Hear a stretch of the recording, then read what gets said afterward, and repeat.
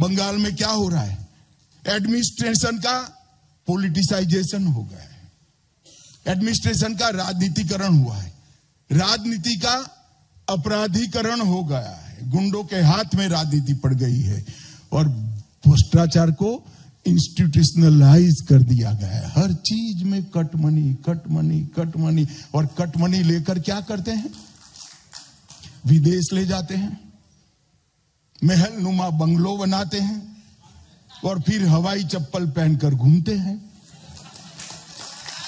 भाई ये कहाँ से बंगलो बना? इसका हिसाब युवाओं मांगना चाहिए या नहीं मांगना चाहिए?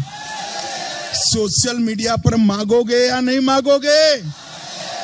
अब बंगाल की जनता हवाई चप्पल से झांसे में नहीं आने वाली है।